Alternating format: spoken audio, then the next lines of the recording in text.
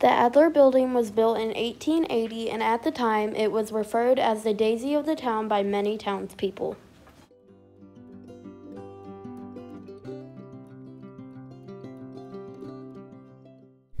Simon Adler moved to New Orleans from Bavaria in 1840, but it is not known how he made his way to Batesville.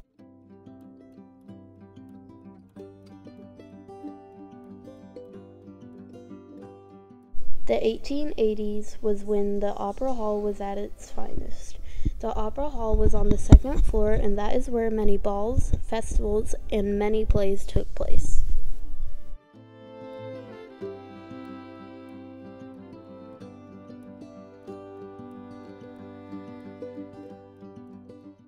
In addition to the Opera Hall, Simon Adler also had a bank. This is Simon with his bank on the far left.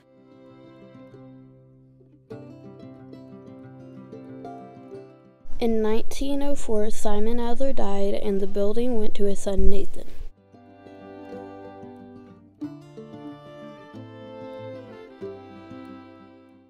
Nathan went on to sell the building to the Yeatman Gray Grocery Company in 1916. In 1931, Yeatman Gray filed for bankruptcy and Charles W. Barnett bought the building at public sale. With his brother I.N. Barnett, they created the corporation known as the Arkansas Dry Goods.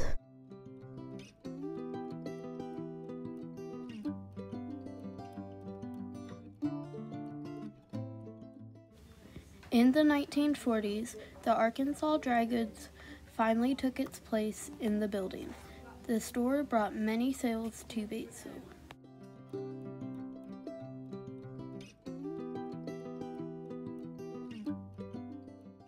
In 1968, the McSpadden Furniture Company moved into the building, and the owner of the store was Otha McSpadden.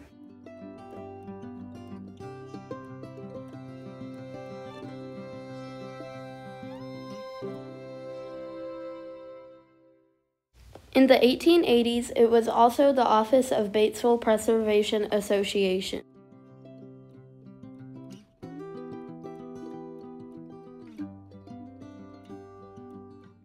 1990s is when the Fabric Connection store moved into the building.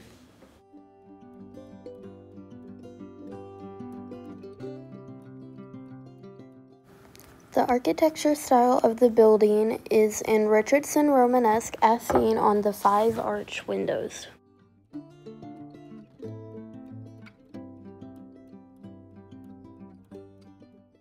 The middle window has a plaque above it with an A on it, and the A is for Adler.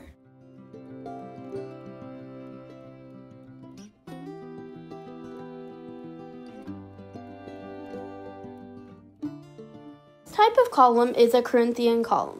Corinthian columns are the most decorated of the three types of columns.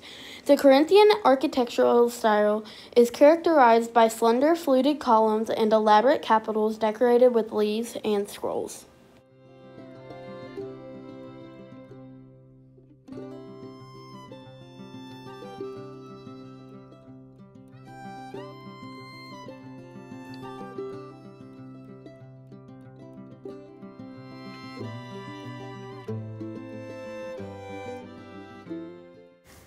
The Adler building is currently in disrepair, but it is owned by Joey Markowski.